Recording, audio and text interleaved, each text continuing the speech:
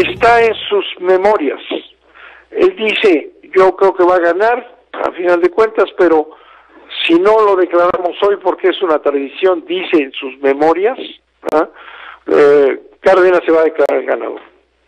Bueno, entonces ahí eh, está el, el meollo del problema. Luego, los paquetes electorales y las actas se mandan de los 300 distritos al colegio electoral. Te acordarás que entonces quien calificaba la, elección era la Cámara de Diputados erigida en colegio electoral. Bueno, antes de que llegara ese momento, Salinas se pone de acuerdo con el PAN y hacen un pacto. ¿ah? Hacen un pacto y, y, y, ese tiene un objetivo que tú mismo señalas a Marta Naya. Marta Naya lo publica y sacas a las fotos en donde están Luis H. Álvarez, Fernández de Ceballos, con Salinas. ¿verdad? Y entonces eh, hay ahí un movimiento eh, que eh, rompe la relación que tenían Cloutier y Cárdenas para echar abajo la elección en un mitin o mítines fantásticos, enormes, ¿no?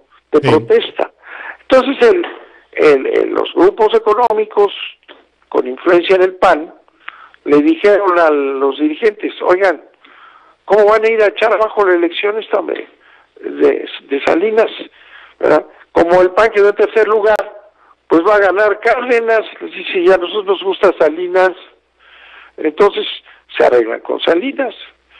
Entonces, eso tampoco sale en todo el análisis de la elección de 88, porque pues sí tiene su significado, ¿no?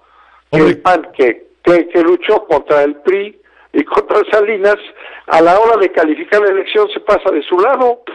Hoy, hoy, eh, hoy Diego Fernández de Ceballos te pregunta en su columna de Milenio, ¿a cuál Bartlett debemos creer? ¿Al que ahora desde la trinchera de Morena acusa de fraude o al que hace 29 años todo lo justificó como priista, secretario de Gobernación y presidente de la Comisión Federal Electoral, el primer sí. responsable legal, social y éticamente de aquel proceso? Sí, es este, muy interesante. ¿A qué Bartlett le debemos creer? Sí. Y yo le respondería a esa pregunta a Diego. ¿A qué Diego le debemos creer? Al que estaba con salidas todo el tiempo, al grado que le llamaron, ¿te acuerdas? La ardilla, porque estaba todo el día en los pinos. Por esa asociación con Salinas, le vamos a creer o al Diego Fernández y Ceballos que apoya a Peña Nieto ahora. ¿A cuál de los dos Diegos les vamos a creer? ¿verdad? Yo les respondo eso. Y entonces, Diego lo que hace, lo que hace Diego es echar ahí una, una cosa que no estaba en el, en el no, no, estaba en lo que yo declaré y dice que a mí eh, las contradicciones de Bartlett que ya se dio cuenta él finalmente que no hay tales contradicciones, ¿verdad? Las contradicciones son por su, trayectoria. Sí, consecuencia de tu trayectoria, dice. La, la, pos, la postura de, de, de Fernández Ceballos, que saca esto de que Morena, el ataque, ¿verdad? Pues es por su trayectoria pripanista. Eso yo no lo dije, lo dice él, yo le contesto, hace una pregunta, pues se la contesto, ¿a quién le vamos a creer? A Fernández de Ceballos, salinista, la ardilla de los pinos, o a Fernández de Ceballos, peñanietista ahora, ¿verdad?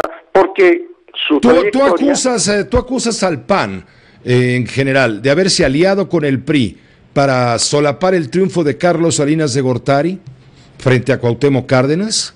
Yo señalo una realidad absoluta documentada, sí. que el PAN se puso de acuerdo con Salinas y en, la, en, en el colegio electoral negoció, ya no estaba para, para oponerse a lo que resulta rey.